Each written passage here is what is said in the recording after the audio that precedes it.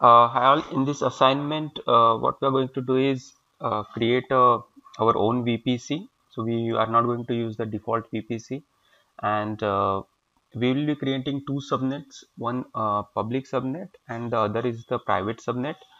Uh, then we'll create one EC2 instance in public subnet which has a public IP so that you can connect to that instance from the internet and then we'll uh, we'll create another EC2 instance in a private subnet which will only have the private IP and you cannot reach to this EC2 instance uh, from the internet. Uh, so what we'll do we'll first log into uh, the public EC2 instance that is EC2 instance A in this diagram. And from there we'll try to connect to EC2 uh, B which is uh, EC2 instance in a private subnet with private IP and we'll connect uh, over SSH from instance A. So a lot of preparations we would have to do for this uh, like creating the VPC, creating the subnets, making those subnets uh, public and private. So uh, let's do this exercise. Uh, one thing to note here that uh, as discussed in the lecture, the public subnet has the route for the internet right? So our public subnet would look something like this one with this route and the private subnet does not have any route to the internet. So that's the difference between the public and the private subnets. Okay with that let's get into the action mode. Okay so i am into the vpc uh, service. Don't go with the vpc wizard. If you just uh, come to VPC dashboard you will see setup VPC wizard but we are not going to use it. We will create a VPC our own without a wizard. So here if you go to your VPCs you will already see a one VPC which is default VPC which AWS creates for you. But here we are going to create our own VPC so create VPC you can give any friendly name say my VPC the CIDR block. So for this assignment, we are going to use 10 200 00 slash 16. As we discussed in the lecture, what is CIDR and what it means 16, we have already seen that. Uh, tenancy default, everything default, and yes, create.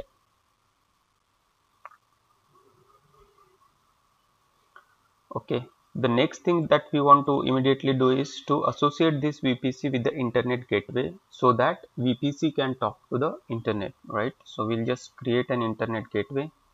Again my IGW create. So this is in detached state attached to VPC and it will populate my VPC attached. Okay so we have a VPC and we have an internet gateway attached to it right so we just completed this blue thing that is VPC and this internet gateway attached to it. Now let's create two subnets one public and one private. So go to the subnet create subnet say public subnet and you can give a name. Make sure you select the right VPC a lot of time I have seen people just forget to select the drop down right VPC in the drop down and they create the subnets in the default VPC we don't want to do that.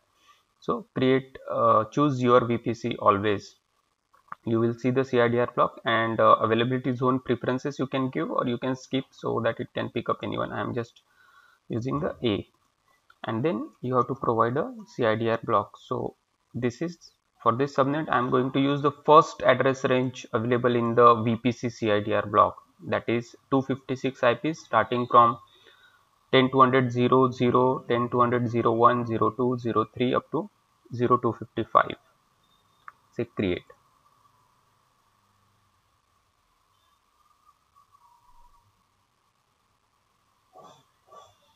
Okay.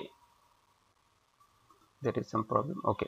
So as you know if we want to make this subnet public we would have to create a route table and associate that route table with this public subnet. So i'm going to the route table create a new route table. So it's again it's a public route table right? So public rt for a. A is a public here make sure you use the right vpc create. And then you want to add a route for the internet. By default as you know uh, route table would have an entry only for this local vpc to route traffic within VPC, not the outside. but we want to enable the traffic to and fro internet. And that's where we would edit this route table and add and destination for the internet. And we'll route it through internet gateway. Right. you'll save it. Make sure you associate this route table with the subnets. Many times we just create the route table and then forget to associate with the subnets so go here. You will see there are no subnets associated as of now. Then you just edit and select your subnet the public subnet. Just make sure you select the right subnets and save. Okay. That means you have created so far an VPC internet gateway attached to it. Then you created a subnet. You created a route table which is a public uh, which has a route for the internet and associated that route table with the subnet so that subnet becomes the public subnet. Now this become has become this subnet has become the public subnet. Next thing we want to do is create a private subnet. So we again create a subnet say private subnet B VPCs preferences I'll select another AZ this time and the CIDR block 10 200 1.0 because 0 0 up to 0 255 has been consumed by the first subnet. So this is a second subnet.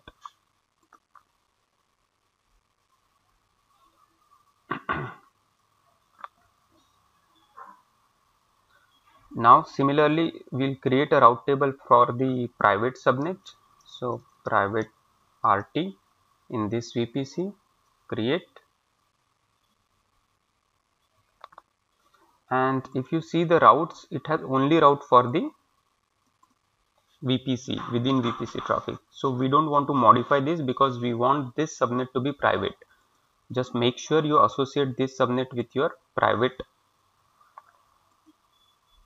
subnet right? So private subnet b and save it. Okay. With this if you see we have this network diagram complete we created a vpc we assigned an internet gateway to it. Then we create a public subnet we created a private subnet. So the next part that we'll be doing is creating ec2 instance one instance in public subnet and the other instance in private subnet. Okay so i'm into the ec2 service for mumbai region. I go here and i want to launch first instance which is which will be in the public subnet. So i'm selecting amazon linux all regular stuff that you have been doing.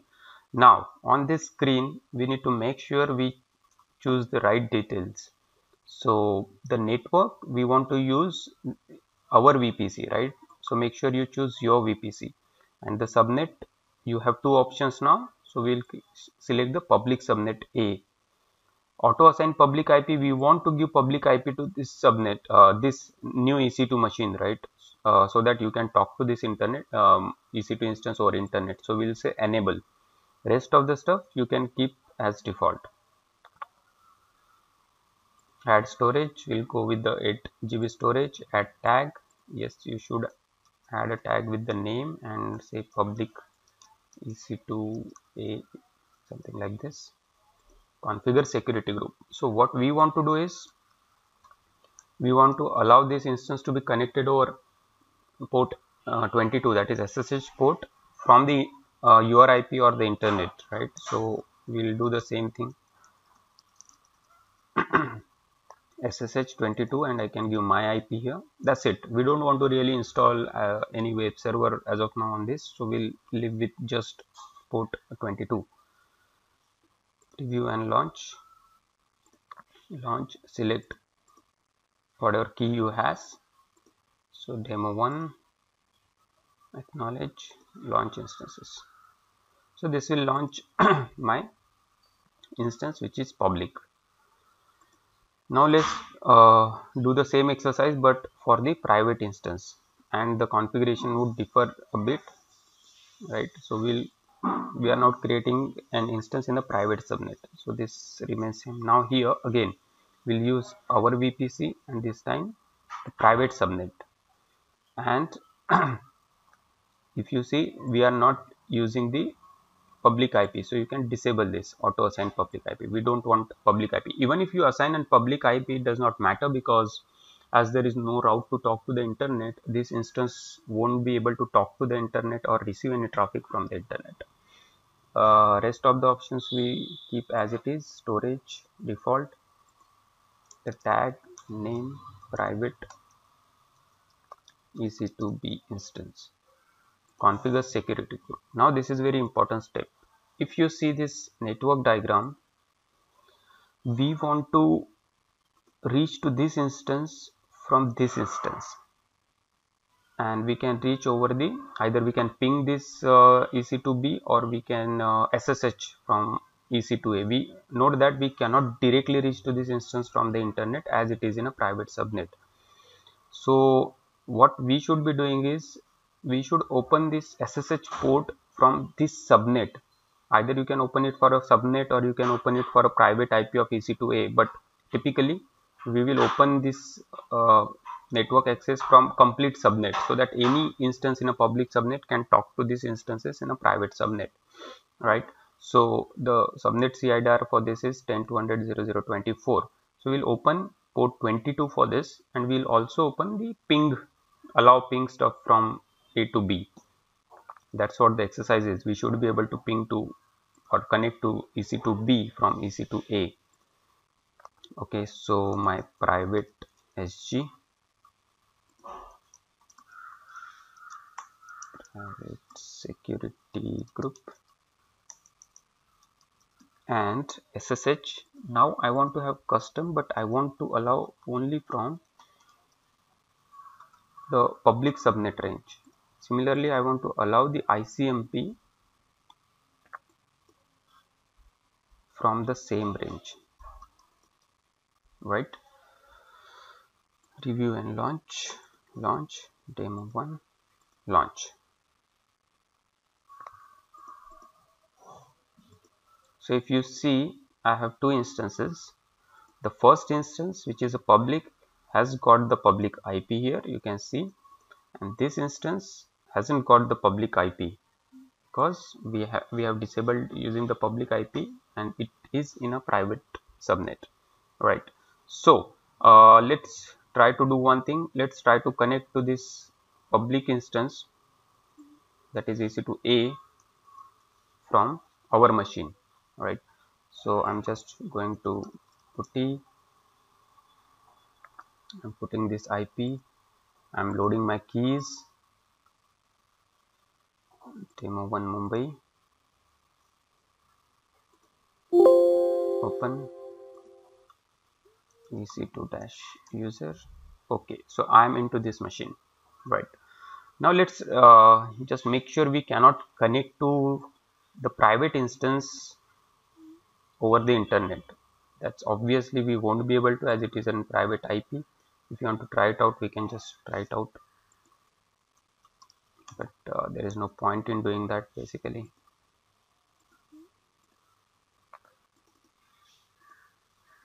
Right? We cannot connect. Even if you would have signed the public IP we wouldn't have been connect unless that instance is in a public subnet. So I'm just closing this connection. Okay. So next thing we want to do is ping the second instance. Now for that we need to have the instance IP so again the same it has got the private ip so i'm just going to ping this. And you see the ping is successful right? So that was one part of the assignment. The second thing we wanted to do is to log into this machine over ssh but as you know for doing the ssh we need ssh key. So here we don't have ssh key so it would ultimately say the permission denied. So what we can do is go to say dot uh, we'll create an ssh file here say demo1 key right? And we'll just paste the content of the pem file. Make sure we are using the pem file here right? Because this is unix based ssh not the you are not doing from windows to windows so what i'm going to do is just getting here. I'm opening the demo1 mumbai. And I'm just copying this content and creating this file here. This is on EC2A machine I am on the public machine right? And I created this SSH key here the PEM file.